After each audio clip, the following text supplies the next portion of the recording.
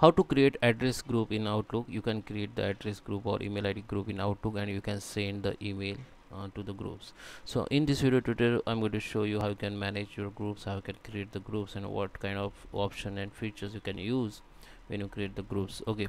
So guys let's start with the video. Before we starting i request you if you like this video hit the like button subscribe my channel and don't forget comments below. Okay. So let me open outlook here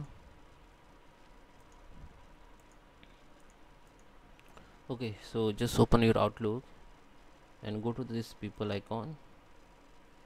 Okay so under the people you can see all your contact list. You can see I have all contact list here. I have group also. So how you can find the groups? So let me show you the groups first.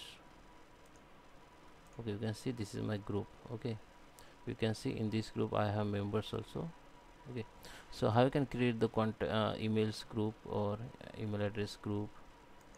Show you. So go to the new contacts group here and now you have to give the name. Okay. So I just give the name of my group. So my I just give the my uh, digital marketing teams. So I just give the name of digital marketing team. So I supposed to add the all marketing members here so I can add go to the add members and you can add from your outlook contacts. You can add from your address book or you can add manually. So just go to the outlook contacts here and you can switch the contacts like this okay? If you are using more than one email id you can switch contact like this okay? So i just okay so just select the contacts. You can uh, select the more contacts one uh, more than one contacts like hit the control key and select like this or select anything anyone and just hold shift key and just hit the down arrow. Then all email will be selected or you can select randomly. Just click the control key and you can click randomly. Okay so when you select just click on member then it will be add here. Okay so when you add in any point if you want to delete someone just select it and you can remove from it. You can add people from here again. You can also uh, create the node for this group okay?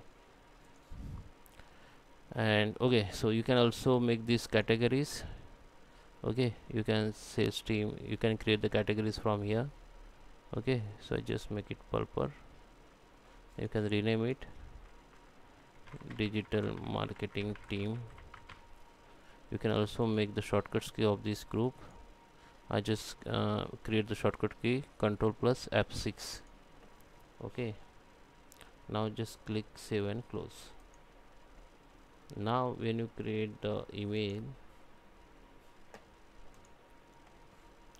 you have to type just initial and this group will become okay.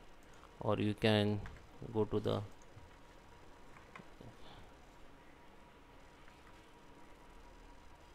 okay. Go to this To or 6 section. I just go to the To section. You can switch the group here and just find out the uh, group. Group will be bold and other another email ID individual email ID will be normal. Okay just this I, I have created this group. Just select the groups and just select To or CC or BCC I just keep it in CC only. I just click on OK now. You can see group has been come here but you can see only group name not members email ID so if you want to see the uh, member email ID you can expand it by clicking on this plus icon. Okay all has been expand but you can't undo this action. Okay so now from here you can delete someone or you can add someone by manually. And now you can send the email. Okay so that is how you can create the emails group. I hope you like this video. Please subscribe me. Thank you for watching